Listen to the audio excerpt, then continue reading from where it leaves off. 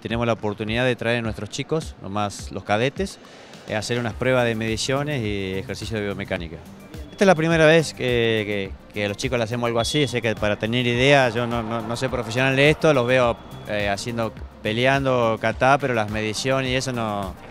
es lo mío, así que eh, creo que nos va a servir mucho para más adelante porque tenemos muchos objetivos, porque esta es la tanda del semillero que tenemos tanto acá con el Club Pringles, de esta edad tenemos un montón y son los que están ganando en todos lados. Estas pruebas biomecánicas me parece que son muy buenas para mejorar el rendimiento, capaz que llegar a, un porcentaje mucho más alto de lo que podremos llegar y a seguir practicando. Estoy muy agradecido al Campus VLP, esta oportunidad que me da a mí tanto y a los chicos.